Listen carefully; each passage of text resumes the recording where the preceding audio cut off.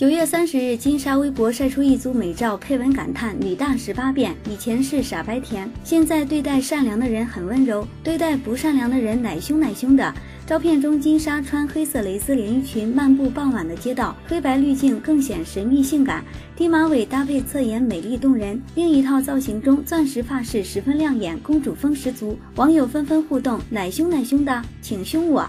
金莎是中国流行女歌手、演员，被誉为中国内地的甜歌玉女小天后。她可是很多人心中的女神呢，长得漂亮，歌声也甜美。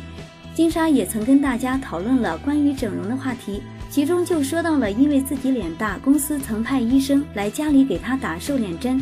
正是因为这个错误的选择，金莎才恍然发现自己对瘦脸针过敏，甚至还导致她整整一年的时间都不能开怀大笑。之后，她便决心再也不要做任何医美手术，而是通过减肥达到瘦脸的目的。同时，她也劝诫大家不要为了变美盲目在脸上动刀。